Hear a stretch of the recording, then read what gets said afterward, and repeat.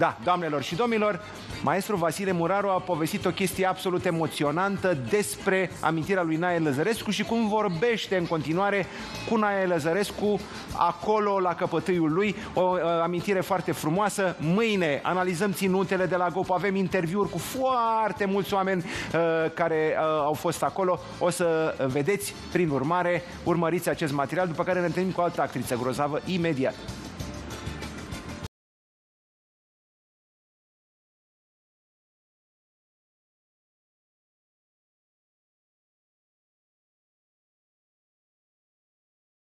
Fotografia română e o sală foarte importantă.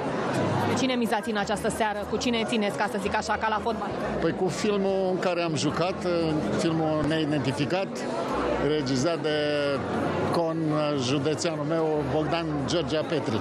Luăm premiu sau nu luăm premiu? Cred că da. că am mai luat și la Anonymous și la TIF și în străinătate, așa că n-ar fi exclus să luăm și în seara asta. Adică sunteți pe cai mari. A, așa zic. Dintre toate producțiile în care ați jucat, care este cel mai drag rol sufletului dumneavoastră, așa? Bă, o să... Nu o să mă credeți, dar ăsta din seara asta este unul din rolurile care mi-au, mi-au ieșit. Mi-au ieșit și chiar mi-au plăcut foarte mult. Mai am unul care trebuie să apară anul, anul ăsta, regia Paul Negoescu, oameni de treabă să se numește filmul, tot un rol deosebit. Pe urmă, celelalte care le-am făcut, la Radu Jude, la Nicolaescu, la atâția, atâția regizori, Cristina Nichituș, la... Dumneavoastră mai aveți emoții când urcați pe scenă sau când se întâmplă să fie vreo filmare așa de ambergură? Bineînțeles, fără emoții nu putem, nu putem, nu se poate. Emoțiile sunt inerente în meseria asta. Ați avut parte de vreun incident așa neplăcut pe la filmări sau de care vă aduceți aminte cu drag?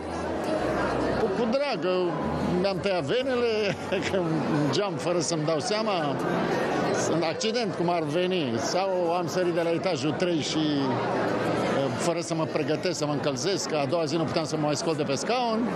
Și uite așa, de astea întâmplări. Nu sunt chiar așa ușoare. Nu sunt ușoare, căzături de pe cai, de pe... cum e la film, așa e la film. Din, din vremea când jucați cu domnul Nae? N-am în filme, odată l-am luat la... Adică l-am propus și domnul Nicolaescu l-a luat imediat la ultimul corupt. Se întâmplă așa să-l mai... Era televiziune, aia nu era...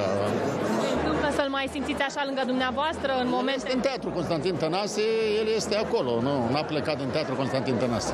Și în sufletul dumneavoastră cum ar fi? Păi, e normal, e normal și tot timpul și cu Valentina, tot timpul când trecem prin Focșani, ne oprim, aprindem o lumânare, mai stăm de vorbă cu bustul lui, că... Ce îi spuneți așa când sunteți singuri? Să aibă grijă de noi și de teatru Constantin Tănase. Vreau să vă întreb că știu că mi-a spus la un moment dat la sala Palatului că aveați cuscri în uh, Ucraina. Da, da. Cum sunt acum? E bine, sunt, e mulțumim Dumnezeu. La ei încă nu e, sunt alarme, sunt fel de fel, dar e, e bine. Da, slavă Domnului.